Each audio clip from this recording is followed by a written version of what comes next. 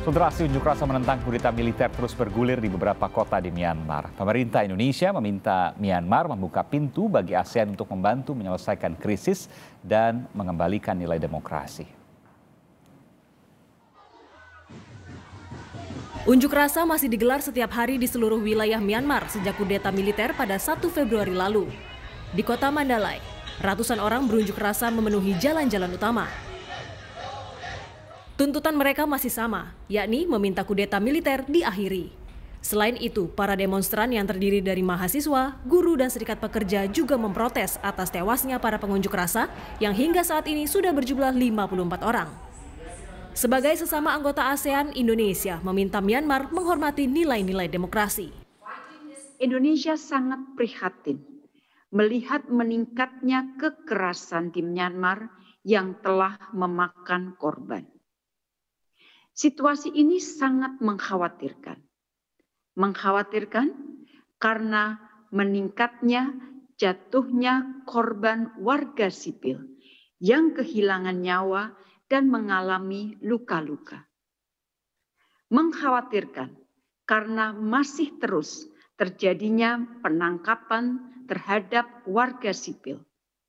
Mengkhawatirkan karena situasi ini dapat mengancam keberlangsungan transisi demokrasi dan mengkhawatirkan karena jika tidak segera diselesaikan dengan baik, maka akan dapat mengancam perdamaian dan keamanan kawasan. Salah satu demonstran yang menjadi korban tewas dalam aksi unjuk rasa menolak kudeta militer Myanmar adalah seorang mahasiswi bernama Ma Kialsin. Kialsin yang tewas pada 3 Maret lalu jadi sorotan dunia karena sosoknya yang dinilai pemberani dan tak gentar menuntut keadilan. Bahkan dirinya ikut melindungi pengunjuk rasa lain ketika ada tembakan gas air mata. Kematian Kialsin menimbulkan reaksi keras dunia karena dirinya diduga tewas akibat luka tembak di kepala. Utusan khusus PBB untuk Myanmar mengungkap, dari hasil analisis video, polisi menggunakan peluru tajam saat menembaki pengunjuk rasa. I saw today very disturbing video clips. Uh, one like was uh, a police uh, beating a volunteer medical crew. Uh, they were not armed.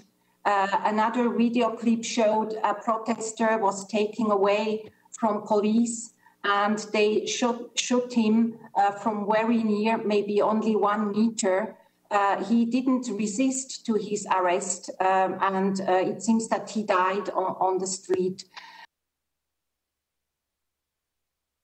Situasi tegang di Myanmar yang belum kunjung reda membuat KBRI di Yangon menetapkan status siaga 2. Warga negara Indonesia yang tidak memiliki kepentingan di Myanmar diminta untuk segera kembali ke tanah air.